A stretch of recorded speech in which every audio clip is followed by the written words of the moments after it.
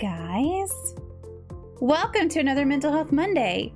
I'm I'm here today with a really awesome person. Buttons. Listen, the buttons are hard. The buttons are hard for real. Hello. Hello, Bite. You were first. Rocker, you were second, but you didn't type first, so you don't get to be first. Triz gets to be second. hey, Angel Me. Hello, how are you? Who's that person? Who knows? Who knows? This is just somebody. I don't know. I don't know this person at all. No. Uh, happy Mental Health Monday. Thank you so much for being here and joining us today. I'm super excited for tonight's conversation. I think it's going to be great. I do have my headset plugged in because it died right before we were going to get started here. So now I have that pesky cord that I'm going to be messing with and I just put it behind me. So hopefully it'll, that'll help.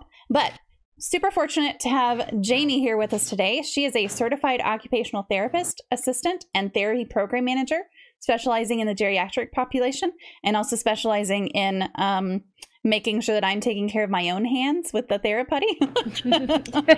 she also has experience with working with the developmentally delayed disabled population. She's a multicultural transplant born in um, Daegu. Is that how you say that? Daegu? Mm-hmm. South yep. Korea and adopted as a baby. Most of her life has been spent living all over the Midwest, although she did spend brief amounts of time on the East and West Coasts. She lived in Seoul, uh, South, South Korea, boy, my mouth just doesn't like to work sometimes, for three years during primary age, and her personal struggles and diagnosis are major depressive disorder, recurrent generalized anxiety, and cultural identity struggles. As she's gotten older, she finds it strange to feel even more connected to her heritage and culture now than when she was a kid living in Korea, but it was something that was also a huge issue for her as a kid. Jamie has three cats and one black lab, and currently resides in Wichita, Kansas. She's currently playing a lot of DBD, which we've played together also. Uh, Apex and It Takes Two, which we played Apex together, and I always feel sorry whenever we play Apex together because I'm so awful. Oh, but, it's just but listen, I can spray and pray all day. mm-hmm. But thank you so much for joining us today to talk about cultural sensitivity, racism, and resources for Asian Americans and Pacific Islanders. I'm really excited to dive into this. So just thank you for being here. I'm really, I'm yeah. really uh, happy to have you. Thank you for having me.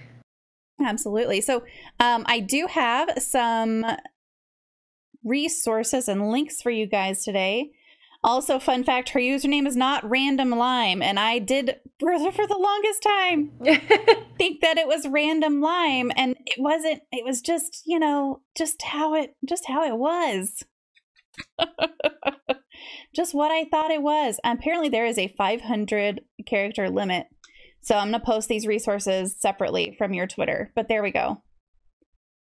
Uh, hey, Majestant. Um, I'm glad you think that the, the guest tonight is hot. Hopefully, you will keep most of your comments tame and in nature, and you're welcome to stay and share your authentic selves and ask questions if you would like. And relevant to the conversation. Relevant to the conversation. Let's keep mm-hmm. it that way. Absolutely.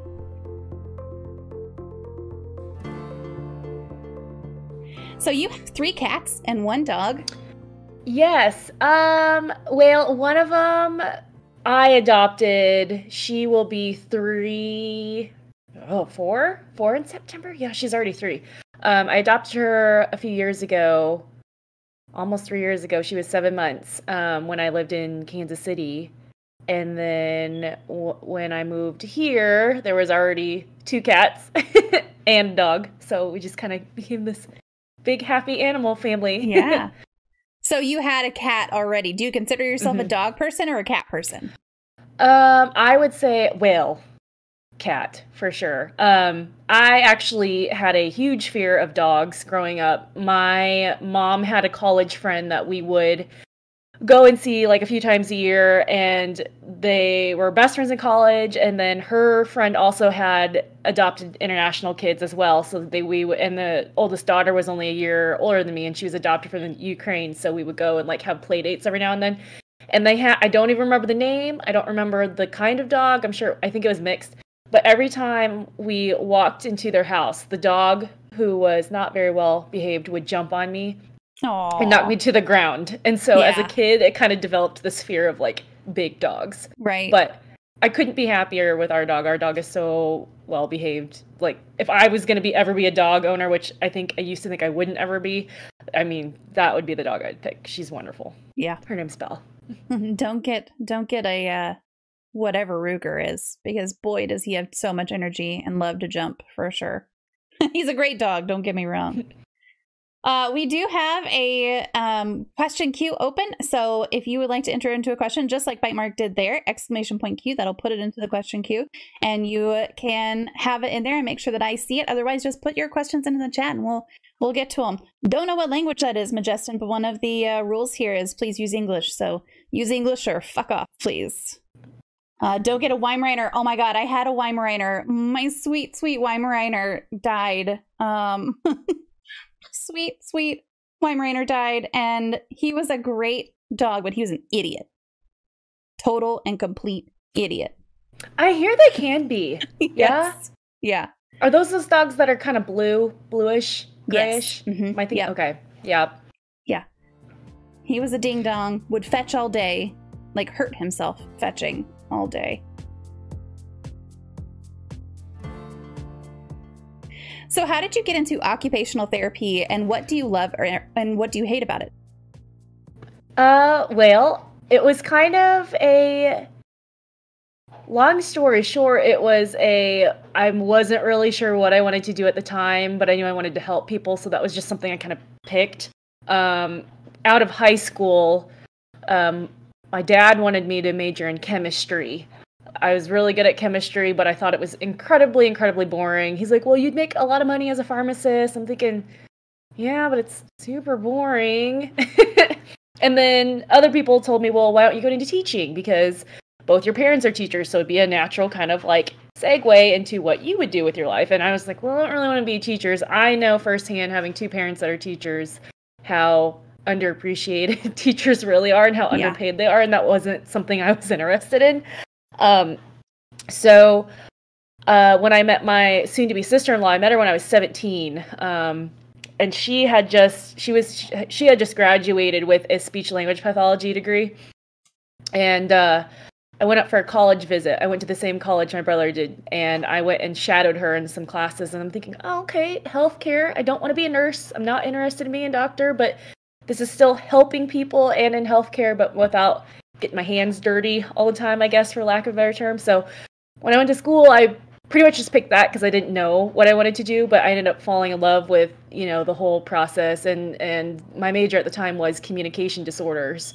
So I took a lot, a lot of courses on like audiology and um, communication disorders and development classes type stuff like that but after my sophomore year, I couldn't afford to go back to the college. Um, it was a private Christian college that didn't accept um, most like scholarships, so a lot of the kids paid out of pocket to go there, Hmm. and um, yeah, it was it was pretty bad.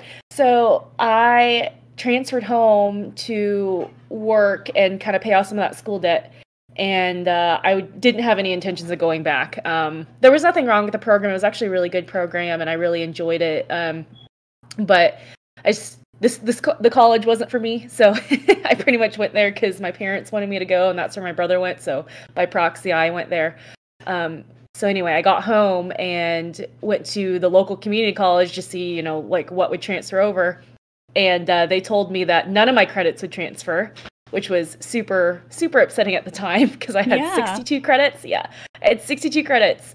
Um, and so they told me none of my credits would transfer, so I had to start all over the basic English courses. And I think I, no, I tested out of English. I paid, I took a CLEP test. It was 100 bucks, and I tested out of English because I was not taking another English course. Mhm. Um, I had to take a speech class again. I had to do all the basics. And I said, well, I don't really want to start over because to become a licensed speech language pathologist, it's six years of schooling. And I'm like, God, if I start over, that's going to be eight years of my life that I'm never Right. going to get back.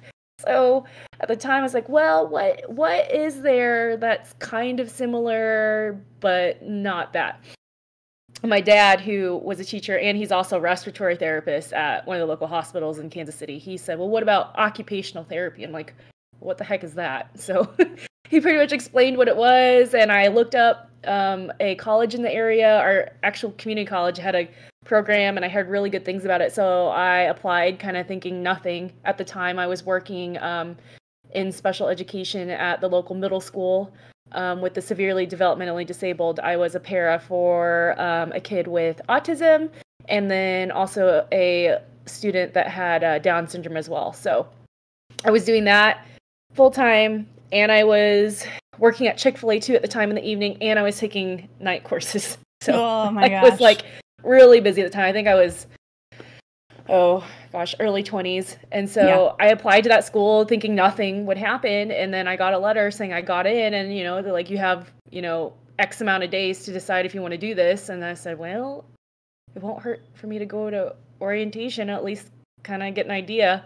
So I pretty much went in blind, not mm-hmm. really knowing what I was going to be doing, but I ended up loving it. So, um, yeah, pretty much, you know, for those of you who aren't aware, occupational therapy, we do a lot of um, we we focus a lot on the self-care aspect of people's recovery. It's very deceiving the name.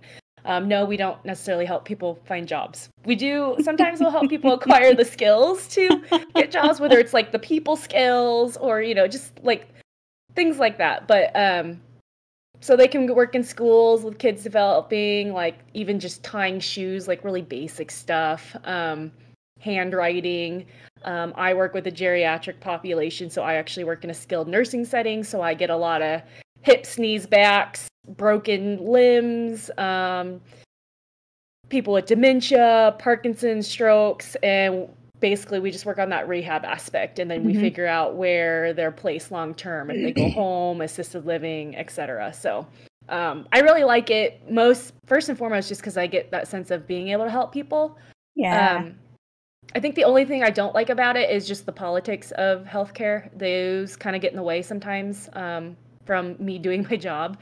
Um, but in large, I mean, I just I love it. It's it's like the perfect niche for me because no, I didn't want to. I wanted to work in healthcare, but I didn't want to be a nurse. I didn't want to be a doctor, and I, you know, that was like, well, what can I do that's still, you know, relevant to healthcare, but not one of those. mm-hmm. Right. Bite Mark said, I know you said hips, knees, and backs, but I heard hip, sneeze, and backs hip and was sneeze. confused. oh, that's great. Uh, so, Bite Mark's question for you right now is What is your favorite poem? Oh, okay. So, I saw, I was thinking about that. So, I don't memorize poems. My there's just so much in my brain that I cannot memorize poems. But I did save a poem that I saw recently that I liked. Um, there is a poet who's fairly well known on social media. His name's um, Tyler Gregson or Tyler Knott. And I saw a poem recently that he posted that I really liked, and it just sort of encompasses like the last year, but um, it's real quick, so I'll just read it. Yeah. It says, um, Struggled, but survived the year, tied ourselves to hope and the promise of light, pin these medals to our proud chests, raise our fists to the air. We are the champions of endurance.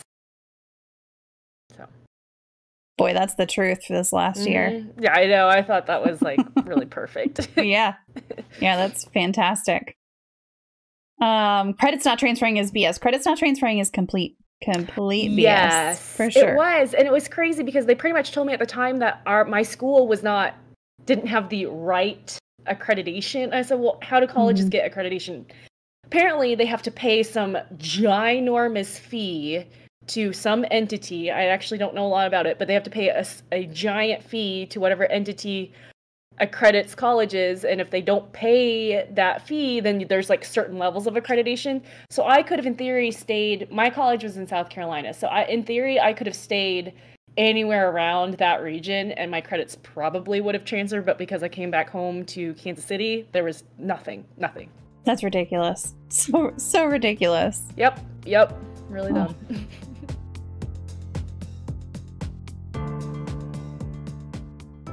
Do you have a serial killer or a true crime story that fascinates you? I was actually thinking about that and I don't think I do, to be honest. I should have put a little more thought into that. no, no, that's listen. I... Some some people have a, like some people immediately something comes to mind. Some people are like, eh, not really. You know. Just, just kind of. well, I'm trying to think of even the last thing I've even watched because it's been a while. I think mm-hmm. the last thing I watched when, was when like Ted Bundy was trending again, and there was all these, you know, mm-hmm. like things on Netflix being posted, and that was fascinating and horrifying at the same time. So Oh, the last so I think the last the thing that I'm not through with yet is Hotel Cecil. So I'm in the middle of Hotel Cecil. But the last thing that I watched all the way through was Don't Fuck with Cats. And that is hard to watch. Like it's I and they don't even show the graphic parts of the videos. But I mean it's hard it's hard to watch. It really truly is. It's pretty awful. oh, Hotel Cecil, listen, it's uh, so first of all, that story has always fascinated me, and I I remember the videos and everything, um, and so to have it on Netflix, that that manager lady, like she's she's something else. She's something else. Um, I love that the poem question gets such a broad spectrum of answers. Yes, oh, absolutely. We've had all sorts of stuff on here with that poem questions. It's great. It's a great question.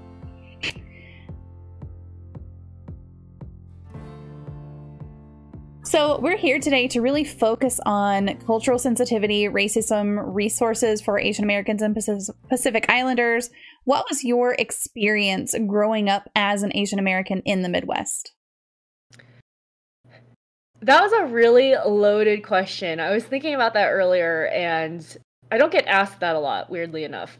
So I really kind of had to reflect on it, and um, it was it was different because um, I off, I also have a really unique perspective as well, being adopted into a Caucasian mm-hmm. family. So I'm not I'm not second generation Asian Americans. You know, my parents are. I think my mom is German and my dad is Welsh. So and they grew up in the Missouri Iowa area.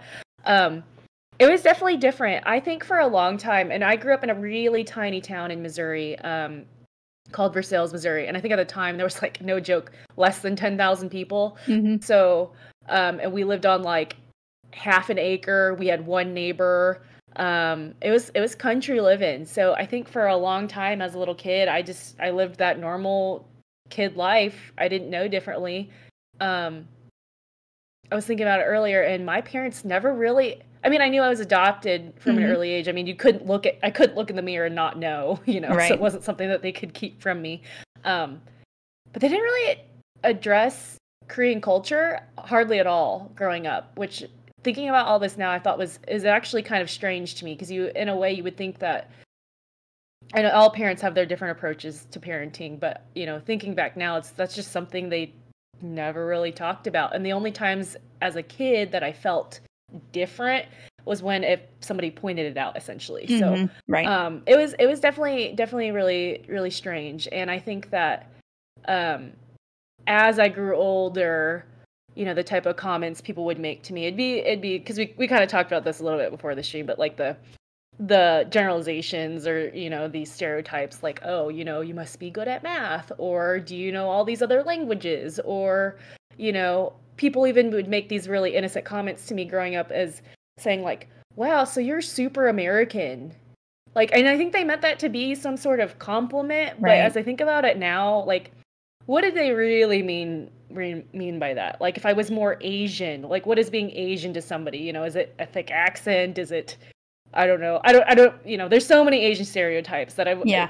Thinking about all that now, I'm like, I don't really know what they were trying to get at when they were making those kind of comments. But no, I th- I would say for the lot the mass majority of I would say from when I was a baby up until I moved to Korea and then came back, I really so I was I was 8 years old when I moved to Korea um for 3 years. I think I think that first like a little bit it was just a normal childhood, you know. I didn't feel different at mm-hmm. all. Um, but then I moved to Korea, and that was a huge culture shock. And it was crazy because my parents were missionaries at the time. Um, and I was they... I was wondering how you got to yeah, move to Korea. Yeah. yeah. So long story short is like my parents were missionaries back mm-hmm. in the 80s and they worked with an organization called NICS. It's the Network of International Christian Schools. I don't believe it goes by that name anymore, but they've got they've got schools like all over the all over the world. Um, and so originally we were supposed to go to Suriname out of all places. So we had booked um we had sold everything and we were getting ready to go to South America and then it came back that they had filled the contract with a with another family another some wow. other teachers and so that fell through. Um so you know, my dad came to us and he's like, Well, I really still feel, you know, the calling to go somewhere. So, you know, your mom and I were in Korea in the 80s as missionaries and teachers. So, you know, let's go back there. So, um, uh, I moved when I was, yeah, I moved when I was eight, almost nine, and I attended a school there, and it was an English speaking school. Um, mm. It was called the International Christian School of Seoul. And uh, it had at the time there were 33 different countries represented in that school so wow um, yes super like super super culturally diverse yeah um i think some of my best friends my best friend in fourth grade and fifth grade she was her parents were the ambassadors of guatemala to korea um, I had some. I had a friend who was from Finland. I had a friend who was from Bangladesh. Like just you know and as kids you know you don't in a sense you don't see those differences they're mm-hmm. just somebody in your class and so that was really that was really really neat um the only time the times in korea where i felt different where if i were to go to like the corner store or something to get like a snack or whatever and somebody would try and speak to me in the in Korean. At the time, I I mean, I grew up speaking English. I didn't know any sure. Korean when we moved to right. Korea, which was pretty crazy. Um, and so those were the times where I kind of started questioning my cultural identity. I'm like, well, mm-hmm. I'm Korean, but for all intents and purposes, I'm not Korean because I don't speak the language. I don't fit into the customs, you know. You know, I'm I'm American. Well, then but in America I don't look American. So mm-hmm. that I think I think coming living in the United States and then going straight to Korea was a straight like it was a that was a huge culture shock for me. I, I know go you go from a town of like five thousand people and then at the time Seoul was nineteen million. mm-hmm. Yeah. So kind of othered in both places. Mm-hmm. Mm-hmm. Yeah. Yep. Yep. Laugh for purposes. First off, uh, Jamie, my daughter says you have beautiful hair, but hope you all are doing well. I feel most people incorrectly pinpoint Asians for example, refer to someone as Chinese when they're Korean. We were talking about that before the stream too. Do you personally take this as insulting or racist or just a casual mistake? By the way, you're both loved. Thank you, Kev. Thank you for being here today. Uh, love you back. And I think that's a great that's a great question. Do you do you want to respond to that one, Jamie? Um, I think when I was younger, like teenage age, age, it used to insult me a little bit more. Um, working in working in the restaurant all the time, I would work headset they can't see me working headset and mm-hmm. i don't have any kind of accent other than right. midwest and so a lot of times they would uh, i would have customers get to the window and say whoa are you who i was talking to like yep and they're like oh well you know and, and we get the whole like you know your english is really good which i thought was very like mm-hmm. well huh. thanks for making that kind of assumption no but shit. a lot of times yeah a lot of times it was you know I would just have strangers all the time come up to me and just start speaking to me in either Chinese or Japanese. they would just pick one. Oh boy. I go, I go, oh well, you know, I'm Korean. Um, I think it used to really bother me as a kid, and I think, and I think now it's more of just a. I think people are curious, and I can't fault curiosity, mm-hmm. and uh, and you know, the most people in the world do live in China. So if you assume I'm from, from China, I mean, that's a fairly good guess. And, you know, I, will give them this. So Southern Chinese actually look a lot like Koreans. All, all different Asians, they have like their certain characteristics, but mm-hmm. the Southern Chinese, for whatever reason, I mean, they're closest to Korea. A lot of times we get mistaken for each other. And I can, I can see that. So, um, I guess long story short, no, it doesn't it doesn't really bother me. I think a lot of it just comes from, you know, people being curious and I think that they're just trying to connect in some sort of way. Yeah. Uh Rocker says do Midwesterners have accents? I truly don't believe. We do. Uh I mean, there's definitely some accents in Midwesterners, I'll say. I know that there are accents in Texas. I turn mine off most of the time. Does yours come out when you're like angry or anything like that? um, it doesn't come out when I'm angry, but if I have been around my family for any any like more than a day, then it comes out for a couple couple days, and I have to like tone it, kind of tone it back down mm-hmm. a little mm-hmm. bit. Mm-hmm. How has your lived experience changed during the pandemic?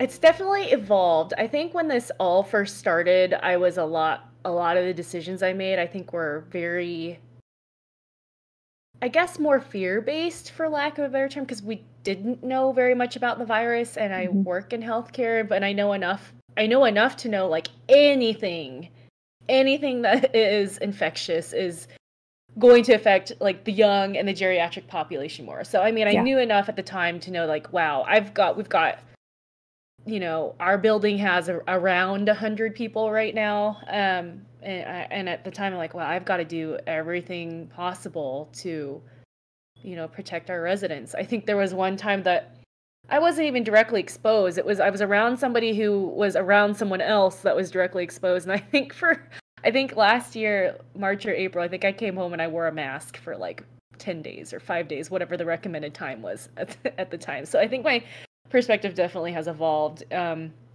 and my life has evolved. I definitely don't go to the grocery store as much, which mm-hmm. is fine. We have ordering and I pick up and it, it's got its own issues of, you know, them not getting things correct. Right. But yes. um, and I'm, I don't know. I don't think in all actuality, my life has changed a ton, a ton because I'm I tend to be a homebody. I like spending time at home, and mm-hmm. I always will be that way.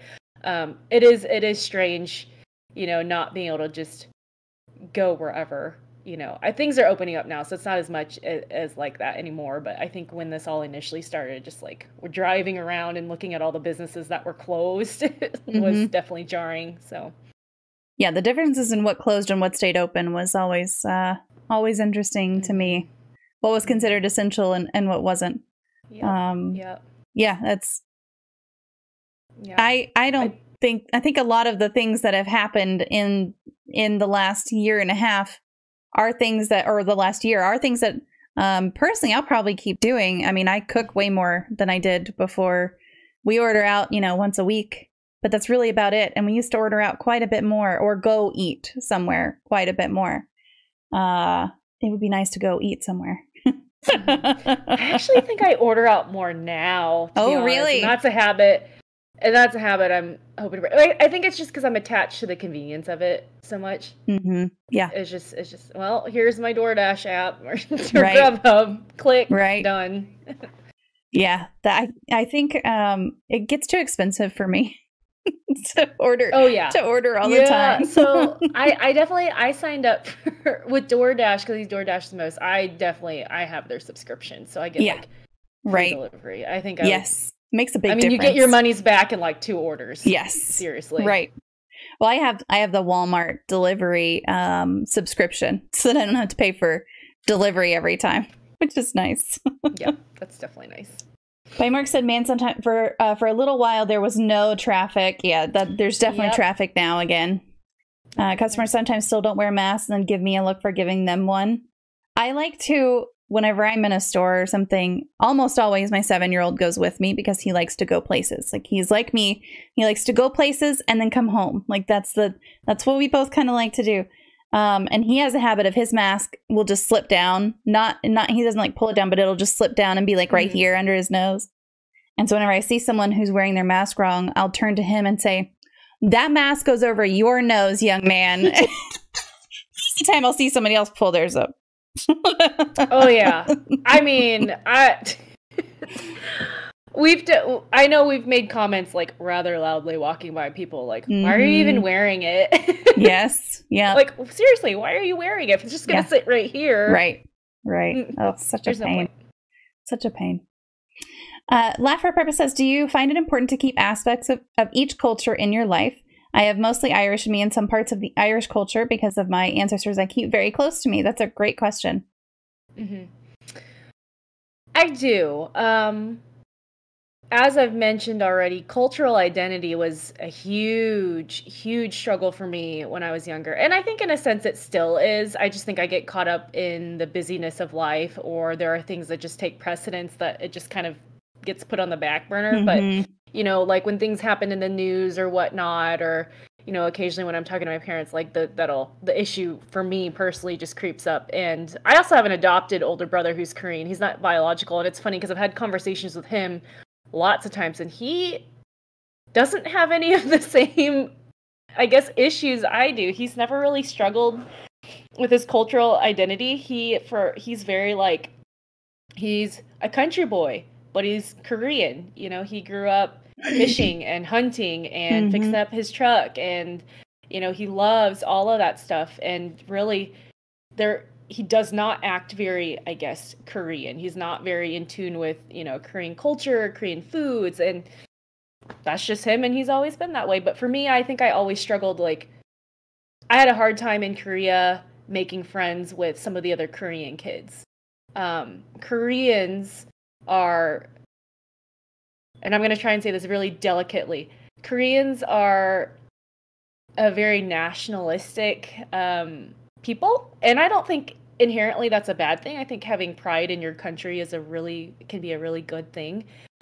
Um, and pride in your culture. Um, but even in school, even at, even with 33 countries represented, a lot of the Korean kids, you know, were just stayed friends with each other. And I always had a really hard time kind of integrating into those kind of friendships with them because I didn't speak Korean. Mm-hmm. You were mm-hmm. supposed to speak English in the school. That didn't always happen, like right. at recess and whatever. And so a lot of times I would, you know, walk up to try and insert myself into kind of these these social situations as a kid and they would immediately switch to Korean because they knew I didn't understand mm-hmm. them. And I think that was kind of the big thing like well, what's wrong with me? I'm, you know, I'm Korean. You know, why why aren't these people, you know, accepting of me? So I think that's kind of like where my big like that and then moving straight from there to Kansas, you know, and in middle school out of all years. you yeah. know, like the, those awkward years where yes. like even wearing the wrong shoe laces, you know, I'm being dramatic, but like even the wrong the wrong shoelaces could like put you on the outs, people. Like um but I do, I do like to answer the question. I do think it is important for me to, you know, identify as Korean, particularly now, and particularly in the topics that we're talking about today with you know all the anti-asian hate crimes and racism like and that's kind of how my connection because at the end of the day i can't change that you know. I am adopted and grew up in missouri. Mm-hmm. that's just what my life is.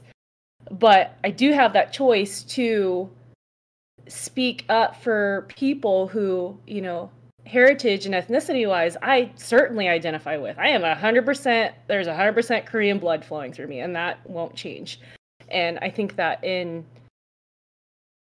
doing my research and educating myself as far as all the stuff that's kind of happened in the last year and even over the course of history in particular with you know asian cultures and and and in relation to the united states i think in a way that's kind of helped me accept my identity a little bit more um but no definitely i think that I, I like i actually really enjoy being multicultural and being yes i can identify with somebody from Kansas City or Wichita on several different things, but then I can turn around and identify with somebody, you know, who I meet at the Asian market who's Korean, because I mm-hmm. did have that experience in Korea. So that's sort of a roundabout way to answer that question. Yeah.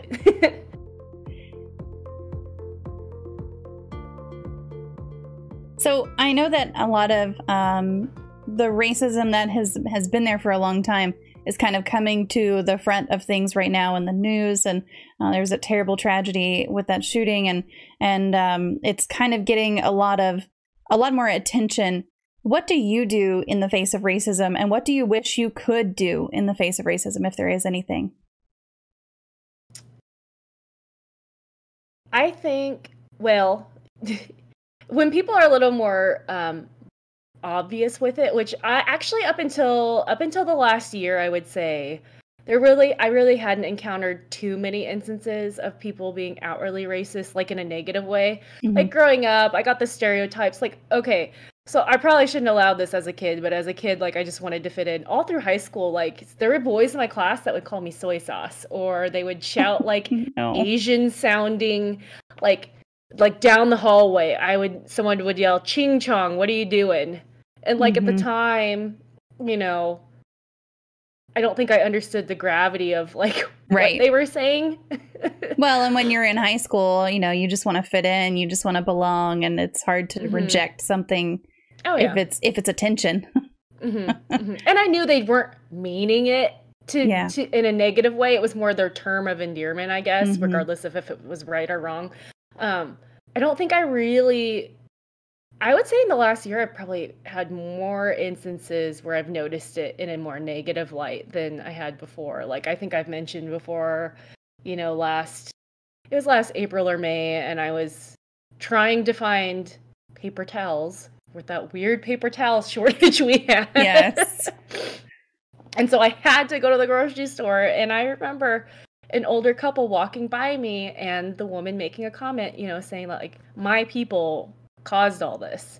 Like, and it just, I think, I think when I encounter stuff like that, I think at first it just takes, I'm, I'm taken aback to be quite frank because, mm-hmm. you know, like why would you, like you don't even know me, you don't, right. you don't know the kind of person I am. You're just purely judging me and making that accusation based off of my ethnicity. So I think my initial reaction is that I'm usually taken aback, and then my second reaction is that I'm angry. Mm-hmm. I have never, I've, I've never said anything to anybody. Although in the moment, I think it's just because I'm just so taken aback. I'm in, I'm in shock, and, and then I do the whole like, well, I should have said X, Y, Z to them, and I didn't.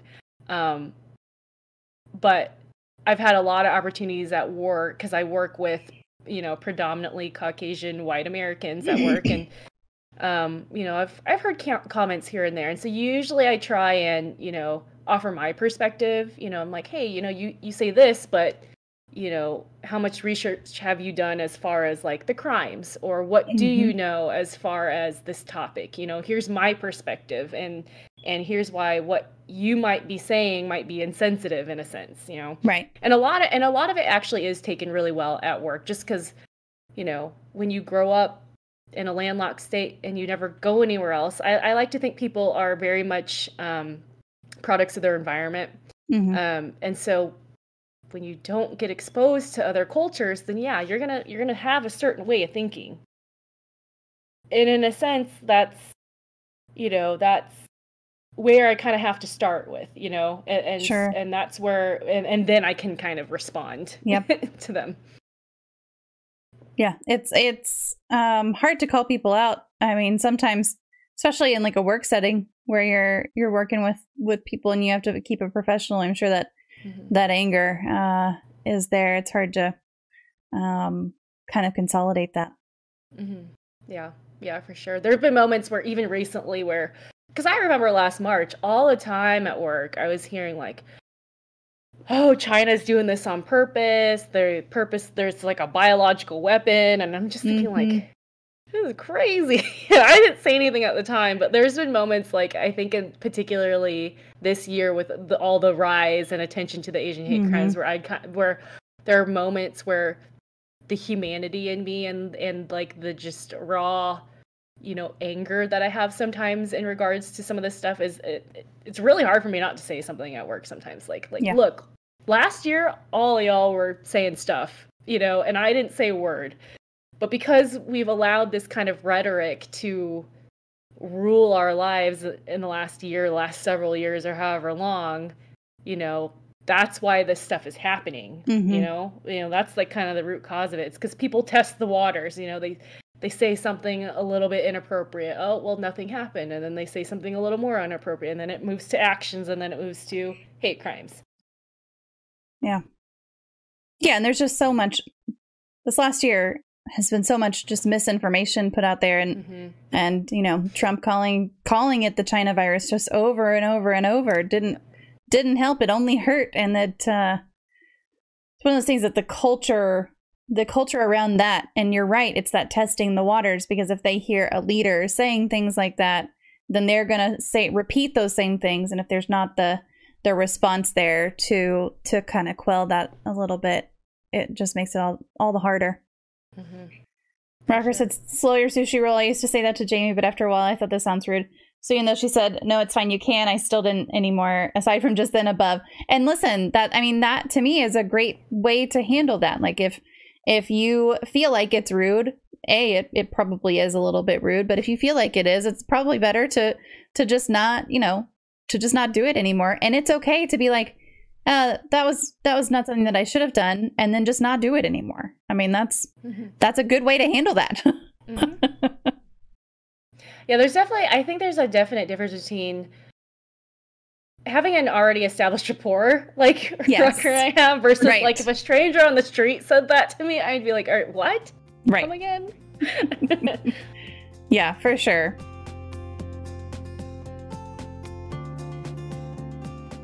Are there some things that you love about being Asian American? Oh yeah, for sure. I love, love, love being different and and and by being different i think that i don't know i maybe i'm not terming that correctly it allows me I, I even thought about this question earlier i'm like how do i answer this so um i do because i think it opens up those kind of conversations with people that you know mm-hmm. that I can have where I get to share my culture and, and or get to share my perspective or get to share like no I didn't grow up exclusively in a landlocked state. I've lived all over.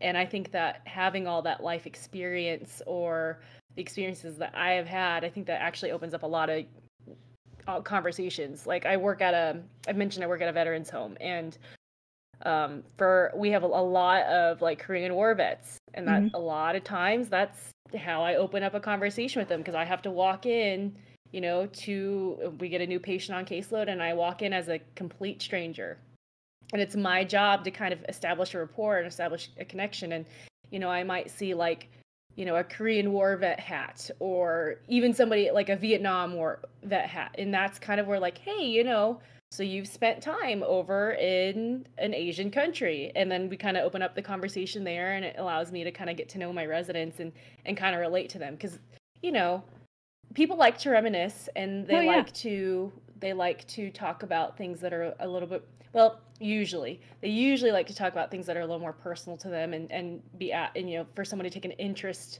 in them and so being Asian American and and knowing and walking in already different that kind of allows me to establish certain rapport with people that ordinarily other people couldn't. So mm-hmm.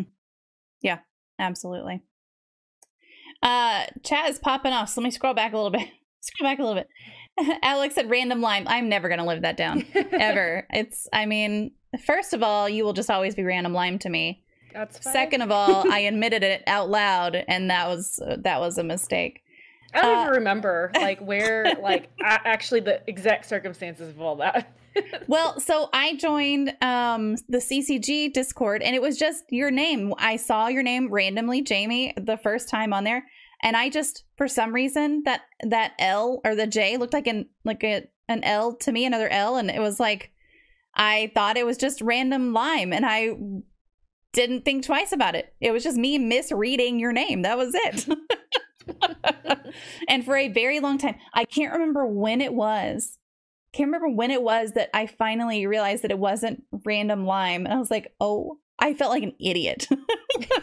First well, of all, probably like somebody was like talking about me or yeah, something I, in a voice so I, chat. I think that's what it was. I think someone called you Jamie, and I was like, "Oh my god, it's randomly Jamie." Fuck oh, yes, yes, yes, yes. Adam, hey, welcome. I'm personally thankful that the AAPI site seems to be inclusive of, of South Asians. Yep, absolutely. Different experiences and perspective um, as far as as what you love to be uh, love about being Asian American. Absolutely, yeah. Uh, likewise, I'm here for supporting. I'm here for the supporting of our Asian neighbors, as I myself am Asian. Yeah, for sure. More. Hey, how are you? Old people love to conversate. Boy, that is the truth. Yes. that is the truth. And I don't know I don't know if it takes a certain personality or if it's just as you age. Like every I feel like every old person that I know or have known they really do like to talk. do you just not ever know the ones who don't like to talk? Is that what it is? They just never get to know anyone? or they just there's really some no i've like to some but yeah. again, like working at a veterans home, like I've I've got a lot of residents with lingering PTSD, and so that's kind of the reason why they don't talk to anybody. Mm-hmm.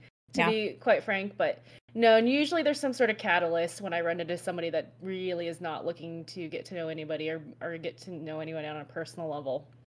Yeah, that and that's fair. That's fair and valid. Frost said Lime is so good at speaking. I love her. Yes, absolutely. Alex, you are not the only one. It's true.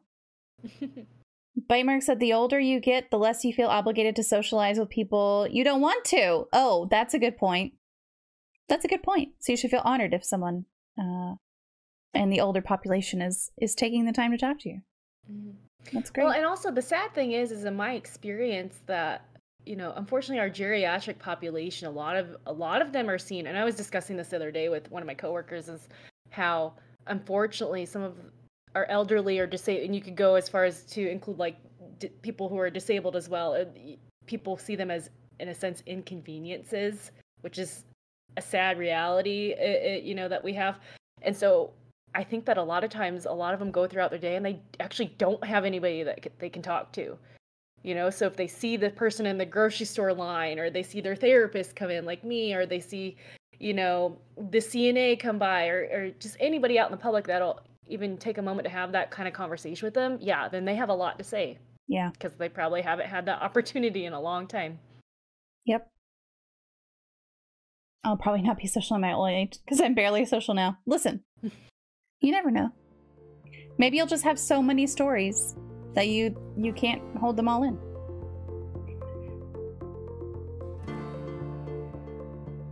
Can you tell us a little bit more about AAPI and A3PCon and what they do and who they support? Okay, so um, AAPI, the whole the official name is Stop AAPI. So it's Stop Asian and Pacific Islander Hate. And um, A3PCon and the Chinese Affirmative Action and the San Francisco State Asian American Studies Group, they actually all got together and created that coalition. And all of those groups on their own are organizations that advocate for Asian Americans and Pacific Islanders, whether it's offering them um, job opportunities or just continuing education or whether it's like being a, a, local community advocate for them as far as like whatever they would need um, some of those uh, coalitions off also offer um, scholarships on the side as well speci- specifically catered towards asian americans but they all kind of got together in march of last year kind of when all of this stuff started kicking off um, and created this website pretty much to log and document um, incidences of Asian hate crimes because a lot of the crimes, I don't know if y'all knew, but a lot of the crimes um, specifically are against the older Asian populations. And uh, if you know anything about a lot of of the at least Eastern Asians, um, grandma and grandpa types, they don't know English. So who are mm-hmm. they going to report these crimes to? Right. Well, nobody.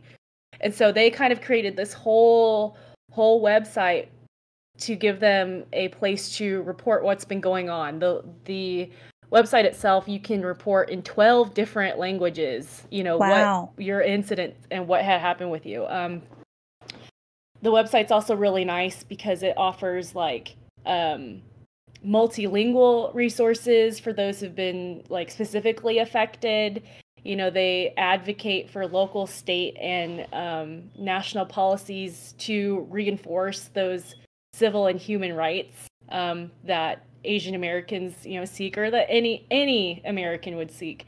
Um, and then they and it just it's all on paper. You can literally go there and they have as of March of this year, they in one year alone they had 4,000 documented cases of Asian hate crimes. Um, wow. Um, which is a ton. And mm-hmm. all 50 states there were, and including the District of Columbia, had reports. Um, most of the crimes are verbal. I think about 60% of them, whether it's someone being shouted some sort of racial slur on the, on the street. Um, a lot of the, I think shunning, shunning was a big one, whether, you know, you might have Asian neighbors and, and people are not speaking to them anymore, or, mm-hmm. you know, you go to the grocery store and you know you're not they don't treat you the same as everybody else yeah. unfortunately you know physical assault makes up 11% of the of the cases which i think that's a lot. 11% you know out of 4000 i think that, that's quite a few. Um and then it also covers like online harassment as well. But the website it's it's really great because it pretty much just offers people resources on how to combat this and it re- offers resources on you know how can you educate yourself and how can you educate those you know personally on everything that's going on. It's not just like a, a website to just kind of spout off, you know, well, this happened to me and this happened to me. That it's nice because mm-hmm. it offers all those extra resources um, and statistics, you know, just to kind of spread awareness. Um, it is based out of Los Angeles. A lot of the a lot of the stuff that I'll mention today, um, fortunately and unfortunately, a lot of things are based like East Coast, West Coast. There's a lot less once you kind of get to my area. I was hmm. looking things up yeah. earlier. There's a lot less groups. um, but yeah, so they that that's pretty much their goal is just to kind of spread awareness and keep it kind of alive. Because I know in the news it's just like what sensational thing can we go to next? And what sensational you know but it's in a sense it's their way of just keeping the the whole subject matter alive. Mm-hmm. Yeah which is fantastic. Uh, adam said also maybe they should in, in choose uh, hmm, words are hard uh, maybe they should include support for urdu or people from pakistan i don't know if he has one you can forward that along too um interest i mean i think that that's a good. Surely there are there are something that they could include there. That'd be great. Mm-hmm. Mm-hmm. Yeah, I know there's a place on the website for um, feedback in particular. Um, there is a little um, anecdote there though that they're getting a lot of emails. So oh, I'm sure. A little bit of time I'm sure. to get to them all. mm-hmm. Hindi's on there. Okay, so I mean, yeah, it seems like they'd probably be open if you sub- if you submit that as as something on feedback. And I did post both of those links on there, so it's on there. Uh, it's on there for you. So Adam also had a, another question here, and that is, do you feel like the hate or vitriol you have seen and experienced is analogous to what Japanese Americans in the late 1940s and South Asian Americans in after uh, September 2001? I understand that the experiences are incredibly different but it all came from our differences? That's a, a great question.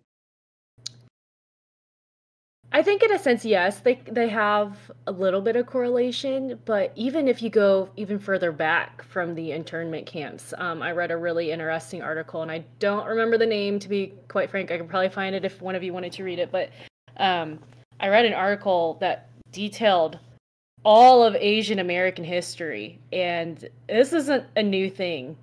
Um, no history books don't cover a lot of i think they cover like the chinese railroad and the world war ii and the japanese internment camps but other than that like asians are largely not included like in american history books but i mean it, it goes far far back oh, yeah. Um, when the chinese were first immigrating over to work on the railroads literal laws were passed at the time barring um, I think at the time they barred women from immigrating over from China at the time because they thought that women were coming over and then selling themselves as um, sexual slaves.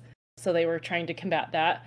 Um, some of the other laws they placed, they were passed at the time was that you could not be a witness in a trial um, as an Asian person. So a lot of what was happening was that there was all of these ghettos being set up in, you know, like right in the San Francisco area, but also New York, kind of like the big hubs where mm-hmm. immigrants kind of like to gather.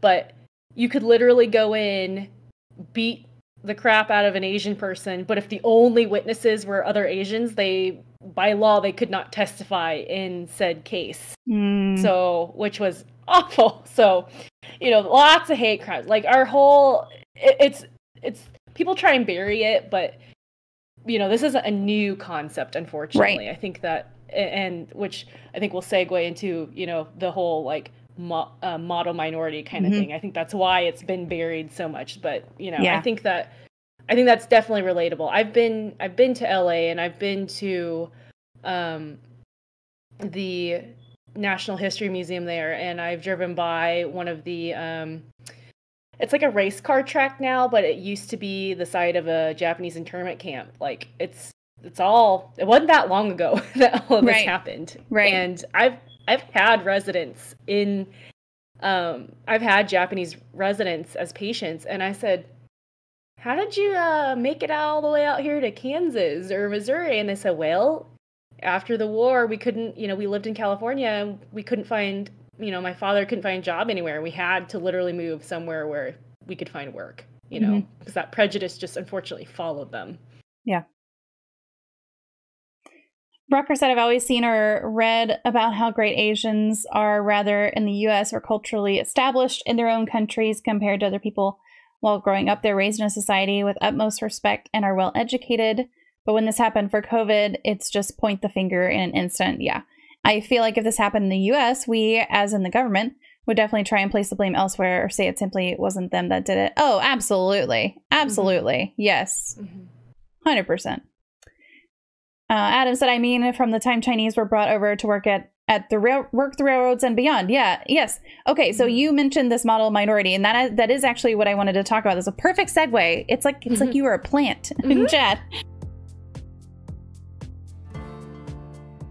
I do want to talk about that model minority narrative because there was this narrative, um, you know, for a, a long time, and, and it, it, still persisted, and it still persists today of that model minority uh, narrative. And is that something that's harmful? And in what way is that harmful? Oh, I think it's it's hugely harmful because I think when people think of Asians, you know, there's a stereotype that we are hardworking and that we're successful and that you know half of us are engineers and doctors or scientists or whatever. But it, in large, that's that's not that's not true. I I did I did my homework for this. A lot of there's a lot huge Asian population in um in New York City. There's about a million Asians that live there and um, I pulled directly from like the Census Bureau, all this that and you know you can look it up, but like there the federal guideline for poverty in New York is about twenty five thousand dollars. And out of the million Asians that live in New York City, 44% of them are either near, at, or below that poverty line. Mm-hmm. So they're the ones that are working in the sweatshops that are barely making yeah. ends meet, that are not educated. I think when people think um, model minority, they think of like the things that are in the media, like Crazy Rich Asians, or there's a Netflix show called Bling Empire that follows like a whole bunch of, I think, rich. I don't know if they're Taiwanese I haven't seen the show myself. I've just seen a lot of buzz around it. But anyway, it follows like again that one percent sure. population. But people see things like that and then they equate it to Asians across the board, which is not true. so yeah, I think it's it's very damning and in a way that's also I think it like I read this somewhere so I'm taking it from a video I saw, but I, I wanted to kind of quote it almost directly. But um, by seeing Asians as the model minority, I think that almost demonizes and hurts other ethnicity, ethnicities in their communities, whether it's Latino or African American, because they go, oh, well, look, at the Asians, they're successful and they're the quiet ones. They just do their work and contribute to society. Like, why aren't you? That's hugely damning to mm-hmm. like those types of like cultural movements or the awareness that we want. And, and it doesn't help it doesn't help get rid of you know the very real thing of systematic racism you know and in a way right. i think that's also racist to just kind of like assume that all asians are in this model minority you know complex or category it's not it's just it's just simply not true mm-hmm. yeah well and it, and if that piece of that wealth disparity in particular gets ignored um, to some extent then they're not providing the right level of support for the people mm-hmm. who need it um, and who are still, you know, minority. Like your minority populations get ignored a lot. And if you have something established that says that they can be ignored or should be ignored, then of course they're going to be ignored. Uh, their needs are going to be ignored. Is what I is what I meant to say. Mm-hmm. Mm-hmm. It's almost like Asian American people are people, just like the rest of us. What? Park, what? I know. I know donut shop owners around here be living good. Well, and you know, it's not to say that's like saying that all um, you know, all white people live in in white trash neighborhoods. Like of mm-hmm. course that's not true, but a mm-hmm. large population of white people and I I I say white people, I'm not trying to like compare white the white experience to anything else. I just say that cuz I am a white person, but um it's like you can't say, you know, just because there's the Kardashians, that must mean that everyone who looks like the Kardashians is perfectly well off.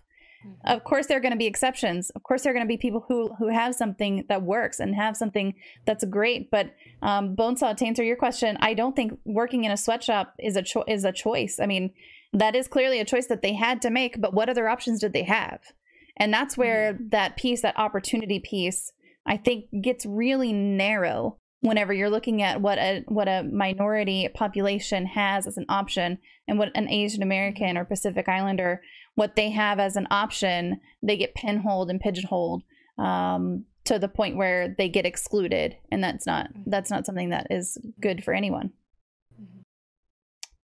And you got to think about like, I think the if just from the stories I've read, a lot of the people that work in these sweatshops, for all intents and purposes, a lot of them aren't young. So imagine coming mm-hmm. over from China, Japan, or Korea, or wherever, you know, as a 40 or 50 year old woman, you know, not knowing any English. Like again, like you said, your your right. options are very limited, and you're that's kind of the choice they have. You know, if you don't have the money or you don't have the language or the means to learn the language, you're going to just take what comes to you. And a lot of times it is those kind of sweatshop, you know, mm-hmm. environments. Right. Absolutely. Yeah. Drucker said with the successful Asian example being shown, it's just hiding the problem with the lower population that are suffering. Exactly. Yes. Big surprise. America, they show they show what they want us to see and think. Yeah, and the wealth disparity, I mean, in general, is growing. Like that wealth gap is growing hugely, especially during this pandemic. It grew even more um, at a, a much rapid, much more rapid pace than it had been. And so that's an issue eh, for everyone um, but more so in a minority population, and even more so in a minority population where you have leadership of the country trying to criticize and trying to minimize their experience and trying to blame things on an entire population where it's entirely unfounded. Um, so yeah, it's it's yeah the successful quote unquote successful Asian example and that model minority narrative. And I think that that starts as a kid too, right? I mean, I've seen so my two bonus kids are Korean and they're second generation Korean and um you know my my 14 year old he gets a lot of crap in school for not being perfect at math. And it's like, okay, we'll give him some help. Well, he doesn't need help. He's he's good at math. Like clearly you're you're contradicting yourself there mm-hmm. buddy mm-hmm. and they i don't think that it's something that is mean spirited i don't think that it's the intention to be it's just that whenever you have that model minority in your head and you have that strength matrix in your head of this is what you should be good at automatically you know we were talking before about there's not a math gene that you can check and mm-hmm. say here you get it. Now you don't have to worry about it for the rest of your life or or if there is. I, I maybe maybe there is and can you find it in me and just tick that box real quick? Um yeah it's it's harmful for sure. And it starts early it exactly by market doesn't take ill intent to do real harm absolutely mm-hmm. mm-hmm. it does not take ill intent to do real harm i love that yeah, it's kind of it's kind of like what I said earlier. How growing up, I used to have people tell me all the time that like, "Wow, I act super American." I'm like, well, what do you again? What do you mean by that? Yeah, I know you're meaning that in a positive way, but in in the same sense, it's like, is, is that really mm-hmm. positive, or you know, are you just uncomfortable with things that are different than you? And then that's I think the core root of what they were saying. That's it right there. Mm-hmm. What do you think we could do to eliminate that issue? I'm, I'm, uh, I think you're referring back, Bonesaw. I think you're referring back to the uh, kind of sweatshop and limited choices. And you, okay, so also you said I have a lot of Mexican friends work at Me- Mexican restaurants for minimum pay. Can't get a green card, but they've lived in the states for ten years plus. Minorities in general get the short end of the stick every time. Absolutely, and that's that's what I mean. Like that issue right there. I think that um, especially immigrants, there's a lot of things that could do be done on a political level to support better immigration policies, um, and and a lot of streamlining could be done. And just, I don't have the one solution, um, and I I don't think that anyone does. But I think as far as the options go, there's got to be something that could be done. Mm-hmm. I don't know that we're going to come up with the the solution on it here, but I'll I'll take a moment and let you respond to that as well. I, my answer is very similar to yours. I don't mm-hmm. know that I have any like one solution because I think it's just been an ongoing thing for decades and decades and decades. I think the United States claims to be, you know, this this melting pot of of cultures. In a sense, yes, we have a lot of cultures that live here and are that are in but are they rep- how well are they represented? Well, in my opinion, I don't think they're represented super well. Or what yeah. kind of resources are we offering to them to, you know, get their citizenships to like further themselves live that quote american dream we're not it's it's really not happening. It's a lot of them here are cheap labor, and that's uh, the really unfortunate truth. Mm-hmm. Marker said, I never found the example I brought up, but the math today is way different than what I learned. Oh, God, yeah. The simple ways to solve a problem are now different. Kids are told to solve them in a different manner. And we were we were just talking about this with my family also. oh, we did Easter over the weekend on Saturday, and uh, it was one of those things that we were talking about math in particular and how they get like graded off if they don't solve it the right way but still get the right answer, which is frustrating to me. Um, Common Core stuff. Yeah. Yeah. I can see why they do it, but it just it just I feel like it takes longer to get to the answer. I mean, not to go off on a like super tangent, but mm-hmm. I understand teaching multiple methods. I am of the strong opinion that if you find a method that a child likes and can understand and prefer, let them stay with it. Mm-hmm. Sure, expose them to the other methods. Don't punish them for using what they're comfortable with if they're getting the right answers. Like, don't do that. And you're trying to inspire creative thinking. That's great. Like I said, expose them to the other ones. Don't count it wrong if they if they do it the way that they like to do it. and mm-hmm. then because that's just frustrating, frustrating. The U.S. is a melting pot, but some have melted so low below the surface, and many others are stirring that pot with rather with a rather abusive spoon. Yeah, it hurts a lot of students that change schools. Yes, yep, yep.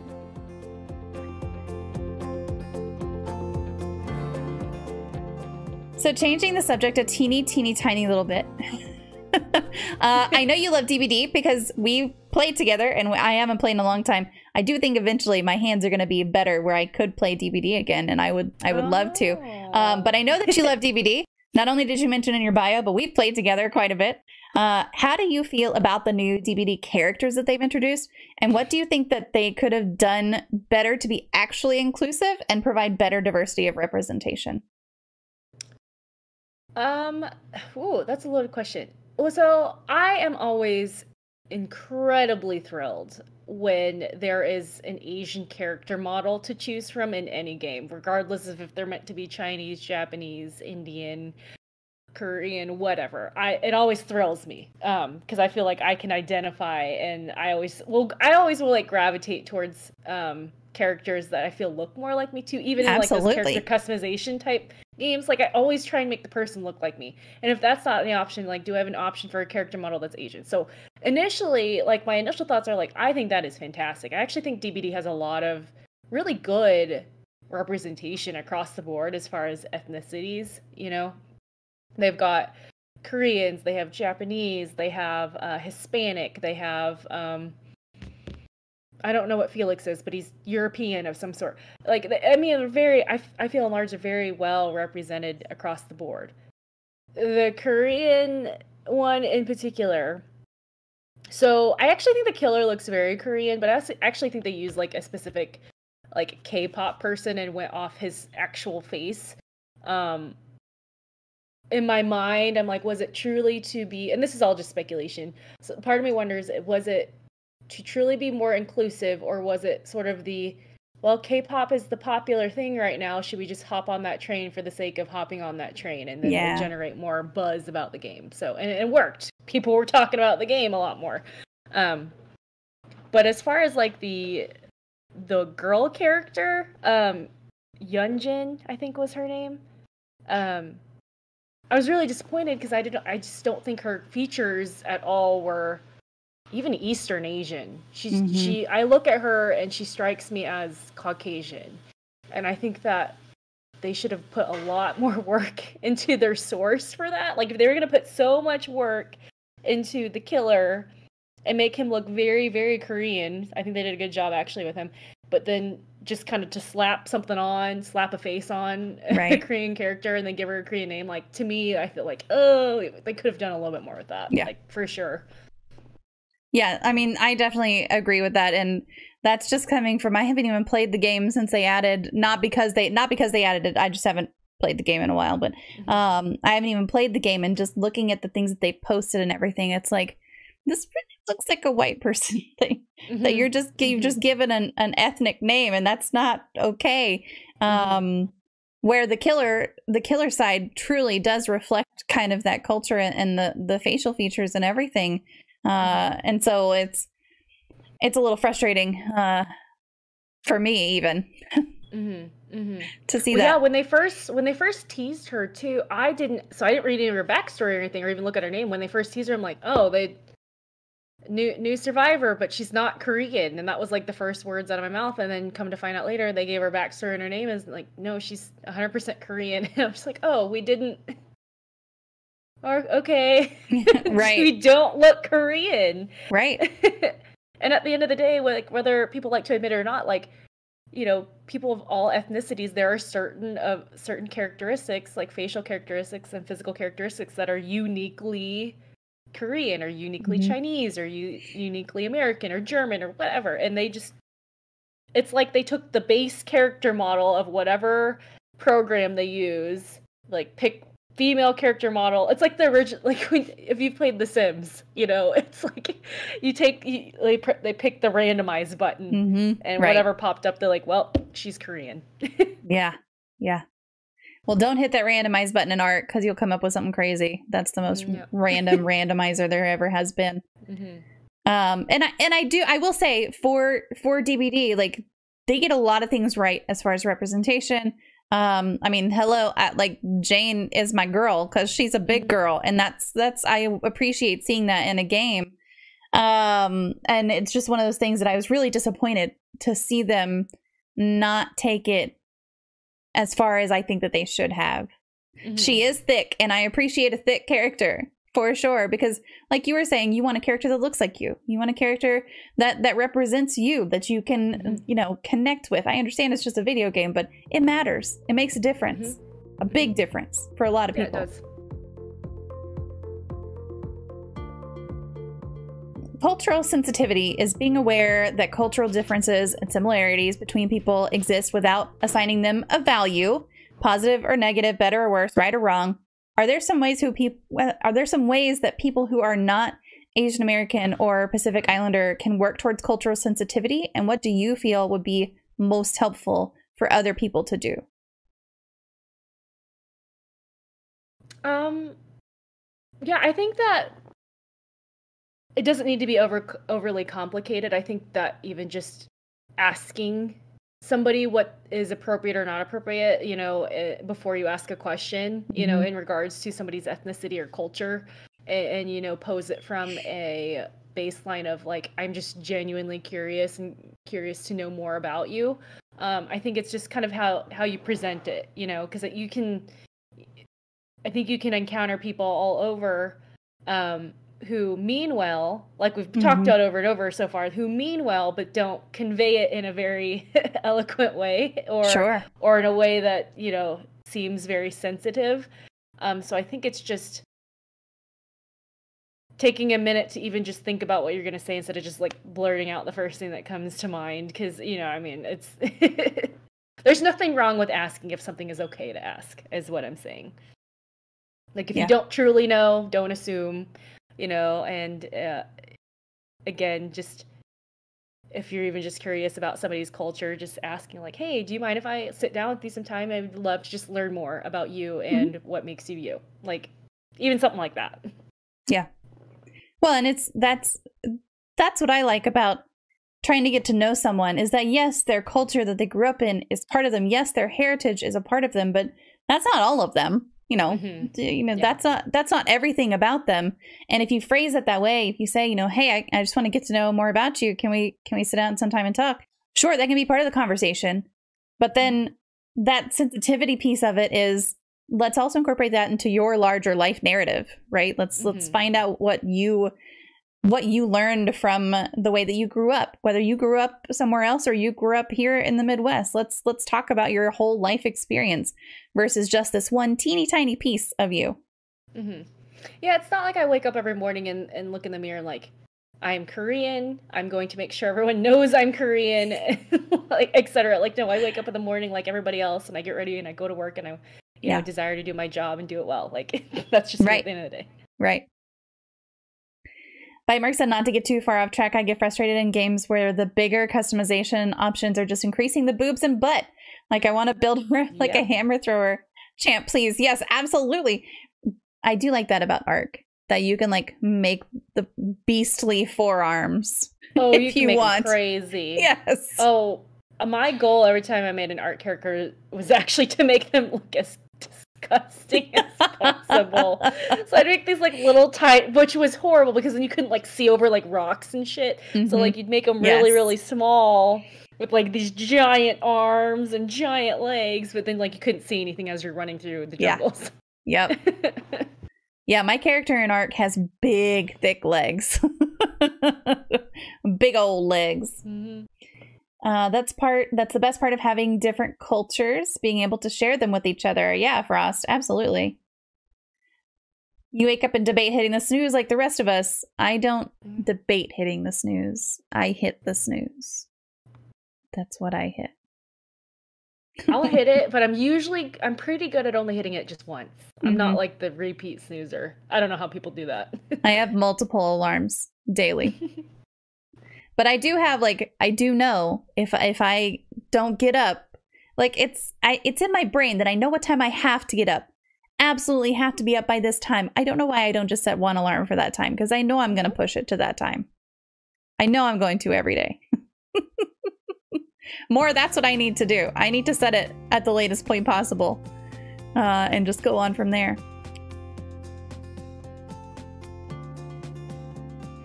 So, we talked about a couple of the resources for um, Asian Americans, Pacific Islanders. Can you uh, talk a little bit about your favorite ones and, and the ones that you rely on personally? Um, I there's a couple that really kind of speak to me a little bit more. One's like I think more of a surface level. I just I just like it. Um, but one's called the um, National Association of Asian American Professionals, and they have 30 different chapters. So they have it like everywhere. Kind of I kind of looked it up. So there's plenty in Texas. There's some in my area. There's in Kansas City, LA, New York. Pretty much every major city has its own little network. And what they do is um, they elect. Um, it's a community of like all Asian elected officials, for lack of a better term, and what they do is um, help spread cultural awareness, like in the workplace, offering opportunities for jobs, workshops for continuing education, and pretty much every major ci- every major city has one of these entities, which is I thought was neat.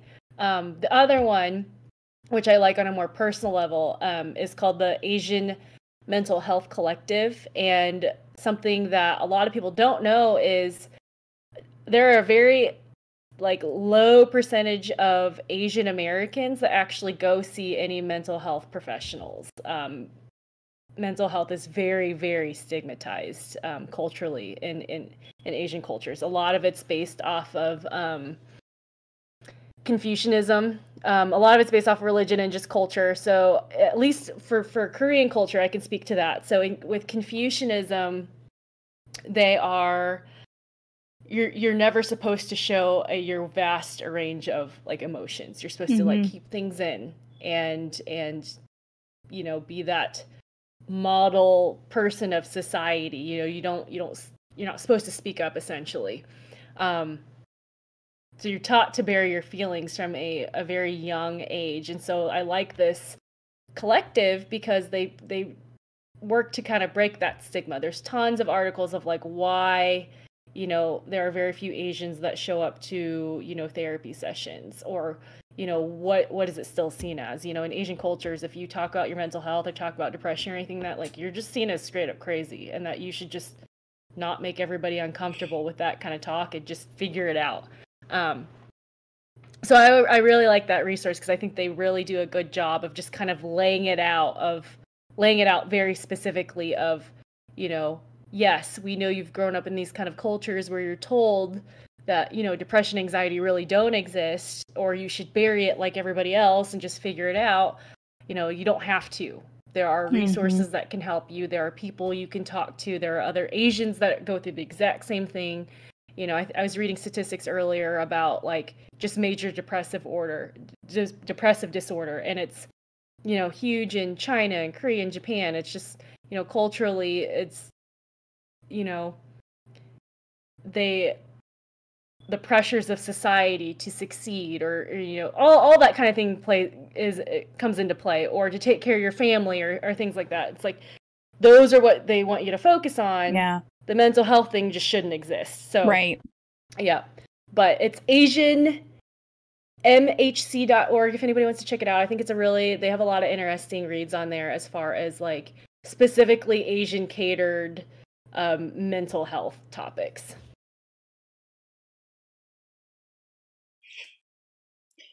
Laffer is hi- very highly stigmatized in Asia, mostly Korea. Only 7% of Koreans seek professional treatment. And that's something, um, you know, that I I wish it wasn't that way for for everyone and for very personal reasons. I I wish that those kinds of things um, weren't stigmatized. I wish that everyone knew that it was okay to get help and it's okay to show emotions. Um, but that is, you know, when it's something that's driven into you from childhood of you don't show emotions, mm-hmm. you you don't speak up. Those kinds of things are really hard to overcome, for sure. Uh, I would not do well in that because I literally cry every time I watch a Glee. So you know, it doesn't just doesn't matter. Like I, uh, yes, my 14 year old and I were watching Glee yesterday, and I'm just like bawling.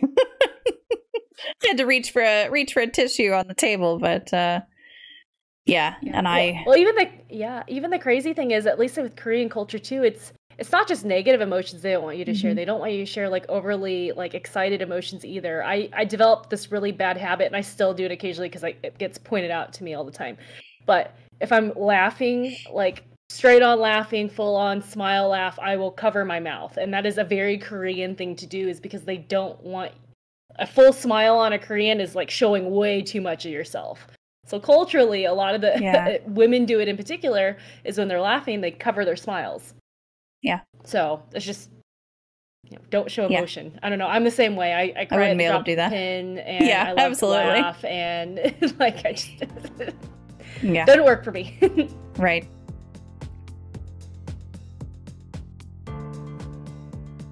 What you have lived through help you relate to others in some way? And have there been times where your experiences and backgrounds, uh, background have helped you connect with someone else? Oh, definitely. I think I touched on this earlier, just particularly with um, with work mm-hmm. and being able to establish this kind of connections with our veterans because veteran population is very very difficult to work with because you you know you already so many of them have all of these comorbidities anyway and health issues and then you have to go in and nine times out of ten they also have you know mental health disorder diagnosis that you have to deal with whether it's depression or anxiety ptsd you know bipolar and and every day i'm i'm dealing with individuals that might have one thing or a combination of all of these things. But again you know if i know that they're you know a veteran of any kind, it's it's even they don't even have to be a Korean War vet or, or Vietnam vet. It's just literally like, oh, you were in the military for a little bit. What branch?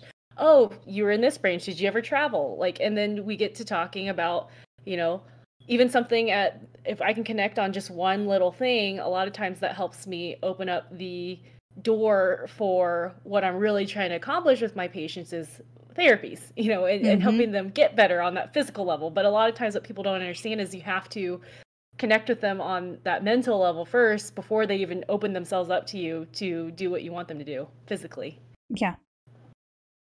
Yeah, it definitely helps to make that connection.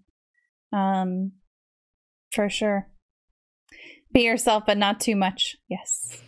yeah, pretty much. Laugh for purposes reading about Korea and mental health, I've always heard the older generation consider it weak to talk about mental health. And this has led to a huge increase in alcoholism in, in the country. Uh, is this true? Yes. I mean, Koreans are stereotypically Koreans like to drink anyway. Uh, it's, it's a lot high high rates of drinking, high rates of smoking um, in Korea. So I think that's just kind of how they deal with their issues. To be quite frank, is you know that's just it's rampant over there. Mm-hmm. Just do what I do and master the art of crying out of only one eye. Boom, cry right next to someone. They can't tell because the tears are on the other side. No, I can't. I can't do that. It's just out of all of them. Hello, Trucky, Trucker Ducky. Boy, that's challenging to say. Uh, but hello. Sounds like Texans. The the um don't talk about mental health. Don't show your feelings. Yes. Yeah, definitely.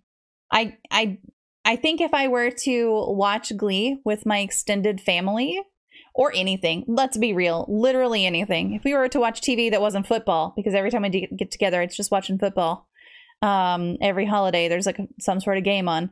If we were to watch anything together and they were to see me crying, most of them would be like, What is wrong with you? yep.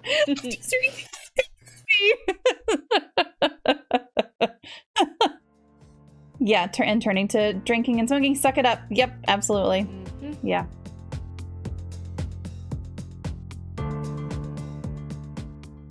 So, if you weren't doing what you do now, or if you had chosen a different path, what would you be doing or have done instead? And this could be anything, anything at all.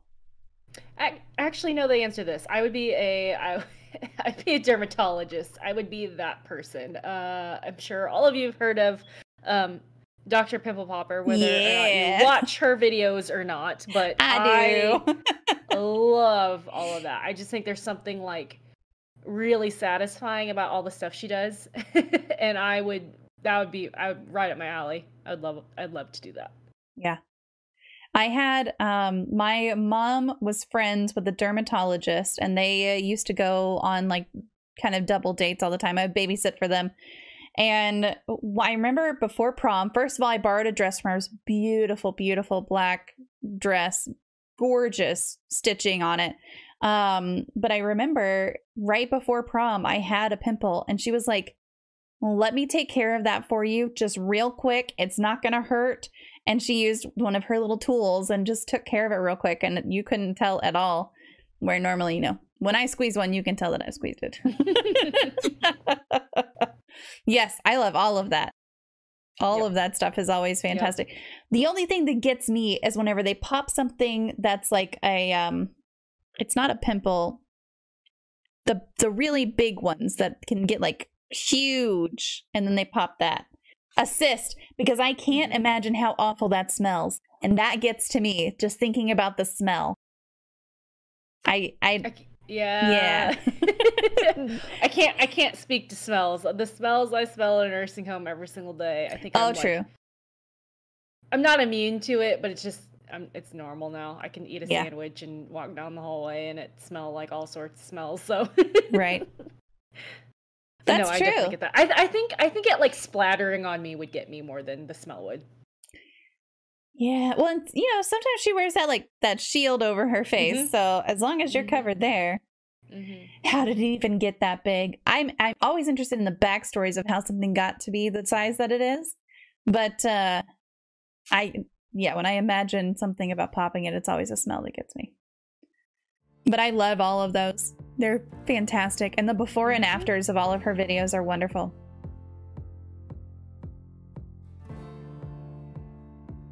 Um, it is time for the Disney magic moment.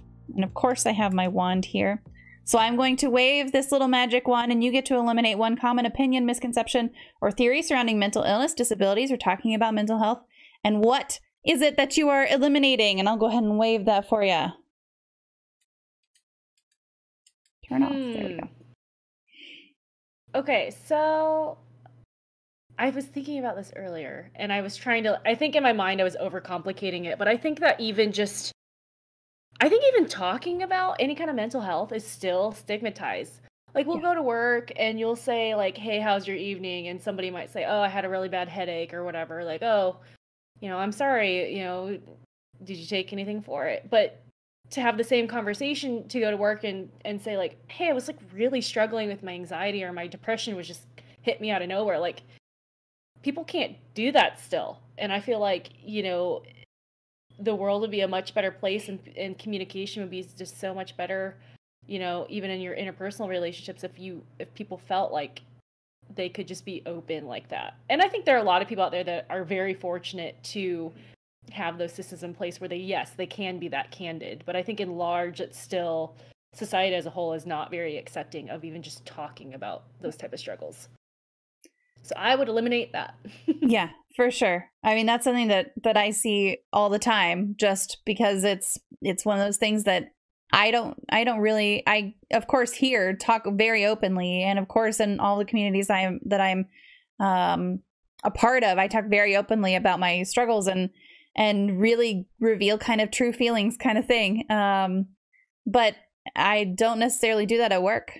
It's one of those things that it's just still I just don't think we're quite there yet and I wish to God that we were because boy wouldn't it be nice to be able to be real all the time. Mm-hmm it's that fear of being singled out for being too different you know yes. nobody wants to be too different or right. be seen as the quote unquote crazy person oh yeah. well that's the way they are you know you don't you don't ever want that to follow you mm-hmm. so i mm-hmm. think that's why a lot of times people even like myself i don't feel comfortable about just being as candid as i could be about it yeah yeah i think i'm pretty fortunate to be um i'm very fortunate to be a positive mental health champion at my work because then I do get to be a little bit more open about it. Um, but honestly, like there aren't many people at work who do open up about theirs at all, mm-hmm. which is mm-hmm. um, most sad. Laugh for a Purpose says, uh, much love sent. Mama, love you. And Jamie, thank you for being you. The world is a better place because you're in it. I have to run. It's Monday.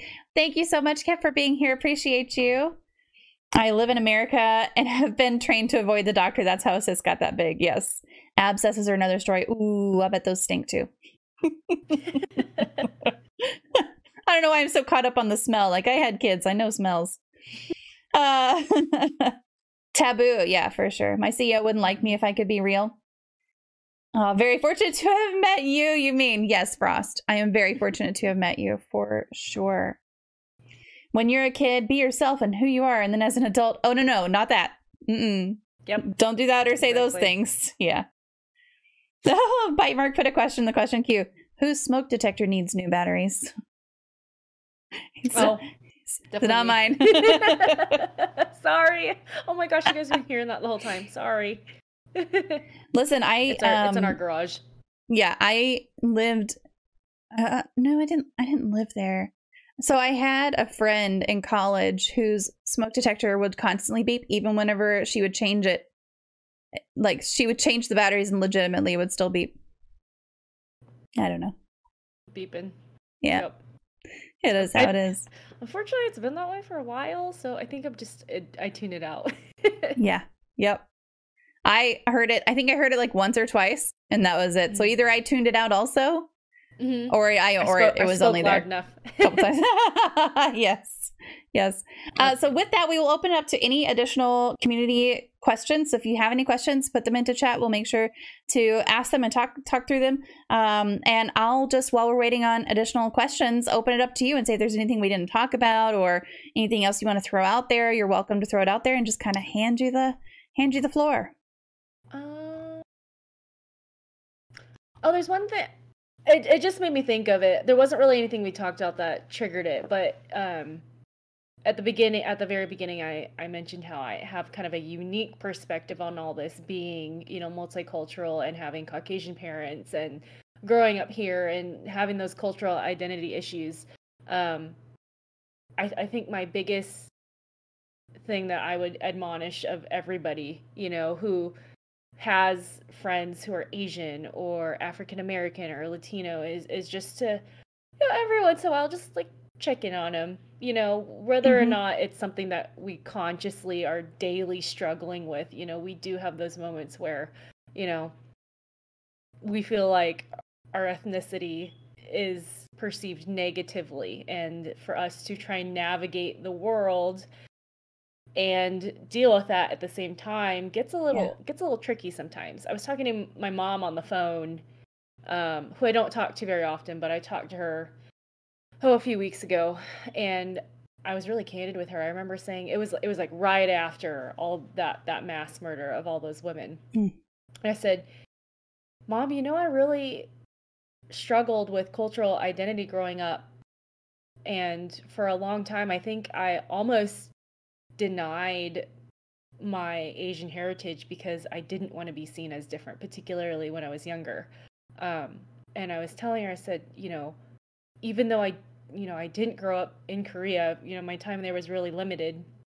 and culturally it was just Kansas City most of my life and I said even even all those factors in play, I still feel this weird sense of of sorrow that I had never felt in my entire life. You know, and and just seeing that story and trying to process all the emotions of how it affected me and in a sense that I felt more connected to my Asian heritage more than I ever have. You know, seeing the communities, you know, those local communities coming together and kind of rally around all those families. As you know, like you know, they're you know, being Asian that's something to be super proud of, actually. You know, and and you know, it's if I ever felt otherwise, you know, that was really really ignorant of me. And uh, but that was just kind of something that you know, kind of really struck struck me, you know, differently. Is that even though yes, I have those moments where I don't really know where I would categorize myself very specifically, you know, just given my circumstances.